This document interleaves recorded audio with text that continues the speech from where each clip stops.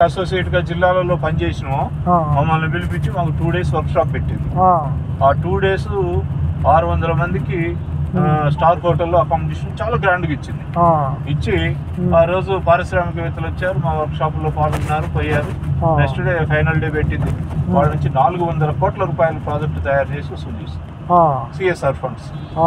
మాకు చెప్పింది మీకు షార్ట్లీ మిమ్మల్ని మళ్ళీ కాల్ఫర్ చేయబోతున్నాను. ఆ. మీకు ప్రాజెక్ట్ ఇవ్వబోతున్నాను. ఒక ఐదు ఆరు వందల కోట్ల రూపాయలతో మనం ఈ తెలంగాణలో వినూత్న కార్యక్రమం ఉండాలా? కొత్త కొత్త. నిరుద్యోగం అనే మాట మనకి వినపడకూడదు అన్నది. అయితే ఆ మాట చెప్పడం మర్చిపోయింది మా ఏ- ఆహా.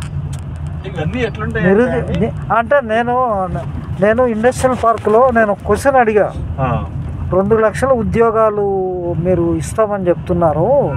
కేటీఆర్ గారు పవర్ ప్రజెంటేషన్లో. మీరు మౌలిక సదుపాయాల సంస్థ తెలంగాణ ఇస్తుందా? లేక కంపెనీ వాళ్ళు ఇస్తారా అని అడిగా. కలెక్టర్ కూడా చెప్పలే ఆ రోజు సమాధానం. అయితే ఇంకో విషయం చెప్తున్నా. దాన్ని పేపర్లో వేసాడు నాకు ఆ రోజు. అంటే నేను ఇరవై ఇరవై ఐదేళ్ళ నుంచి యూత్లో ట్రైనింగ్ ప్రోగ్రామ్స్లో. పనిచేస్తున్నాను కదా. యువకులు కూడా పని చేయడానికి సిద్ధంగా లేదు ఏ 啊。